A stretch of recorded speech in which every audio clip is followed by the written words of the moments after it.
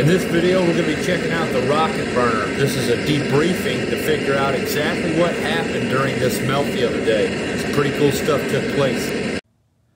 Hey, what's up, fellas? Just wanted to do another debriefing of the rocket burner because something really cool happened that I wanted to show you guys. Um, when I pulled the burner out of the device, I found this.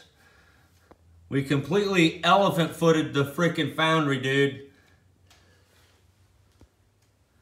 You bogarted my foundry, bro. In 104 seconds, we pulled that off. But that's not all that happened here. I want to show you guys the cool thing that actually took place. We didn't just add oxygen to the burner. That's, that's not what happened. I didn't just walk over and turn on the oxygen.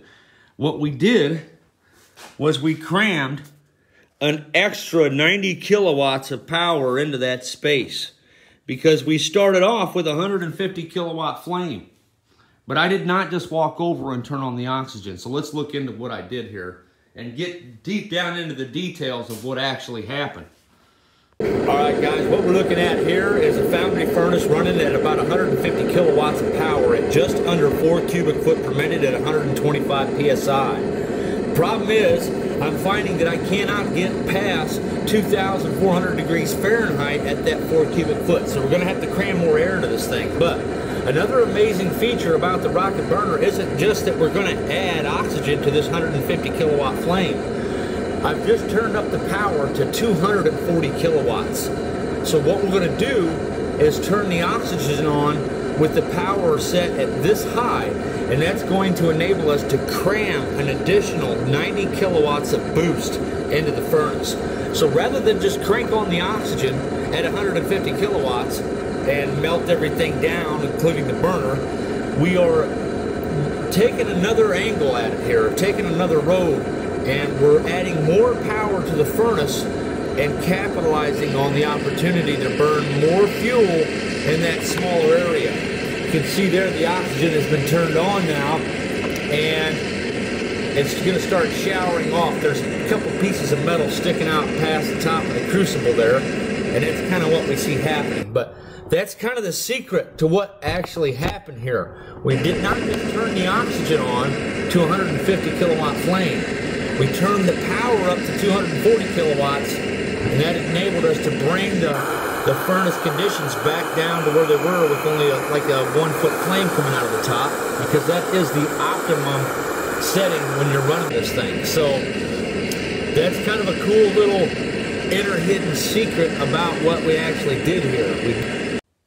We well guys, I just gave it a good chiseling. This is hard as diamond. I am to have one heck of a time getting that out there. Okay, so in addition to that, I also noticed another event that took place that I wasn't very happy about. The device struggled to approach 2500 degrees this time around, and I think I know why. The back pressure from the air compressor was as high as 125 psi's. We had a very long hose set up on there, but I believe the restriction in the nozzle is too high and that it needs bored out. We were only running at 4 cubic foot per minute, and I have a hunch that four cubic foot per minute of air and that space has a temperature limitation, a thermodynamic limit. So we are going to bore this thing out. We're going to bore it out to a 454 and we're going to see if we can get it up to 2,650 degrees again because last time I got one of these burners up to 2,650 degrees without the oxygen lances, I had it hooked up to that massive air compressor over there. And the hose was charged to 135 psi's. That's kind of what happened in the experiment. So I'm going to bore this thing out and we're going to fire this thing up to see if my theory is correct. We're about ready to start testing again. Ooh, hold still. Best fly swatter in the world, I'll tell you what. All right, we got this lid resurfaced and ground down, and we got the inside of this thing all chiseled out, and I threw a thin set layer in there to re-level out that floor, so we're ready to roll. Burner back in. with the modification in place. And we're gonna see if we can't make it hit 2,650 degrees today without the oxygen. I'm not doing any oxygen today.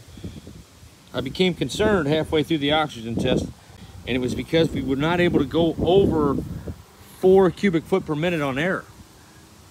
I had way too much hose on the system and the hose I was using was too small. That does have a factor.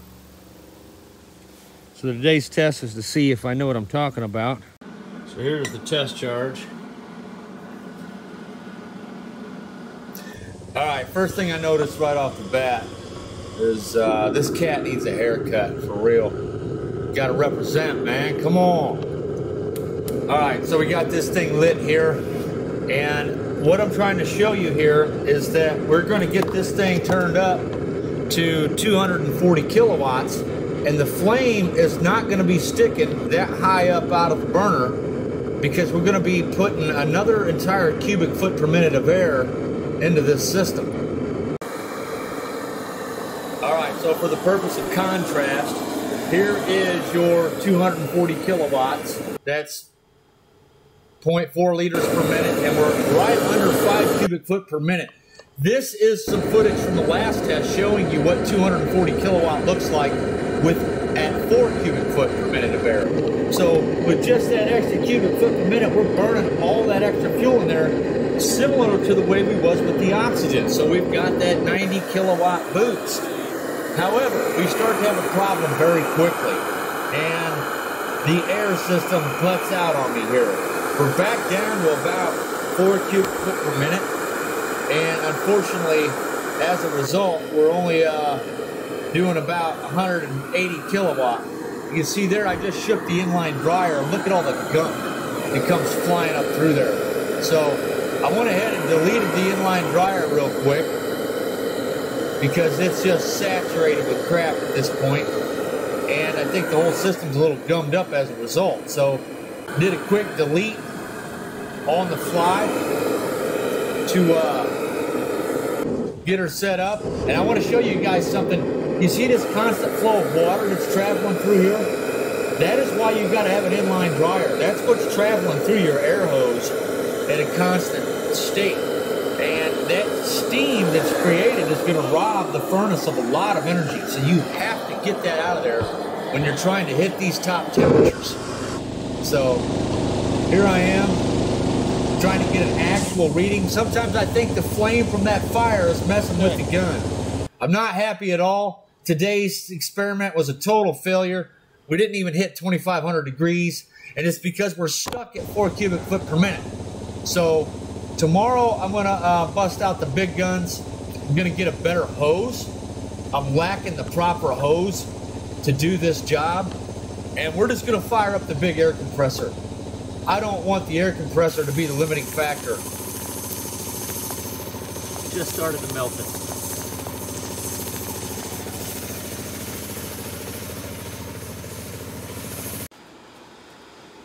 So I was wrong. We did hit the temperature needed to just start to melt the wrought iron there.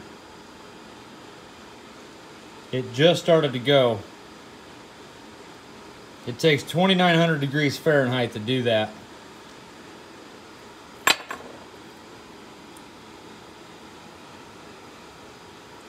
We were just starting to melt.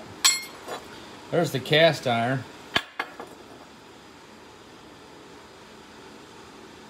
We melted that like 11 minutes in. Just to kind of show you that they are two different metals.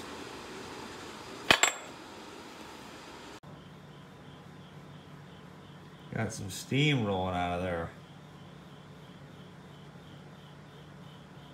This thing's ready for a cleaning. It was completely saturated. You can see how wet, nasty, and oily this stuff is. Pretty bad shape. So I'm gonna have to change all that out with some fresh stuff here. That was part of what killed us. When you start getting a bunch of dirt and gunk going through the line, all that gunk and oil can start to carburize in this area right in here. And flakes of carbon will build up in there and restrict flow. I think that might be part of what was happening. Another thing that was happening, we had so much hose on there, all those little water drips that are running through the line cause eddy currents in the air, and that just significantly reduces the airflow. It's just tumbling air in there, so we're going to have to try this again. Today's experiment was somewhat of a success, but it failed in the end because I wasn't able to get over the four cubic foot per minute like I wanted for a long duration. We did manage to melt the wrought iron pipe, but just barely. I'm not even going to count that. So, we got to try this again.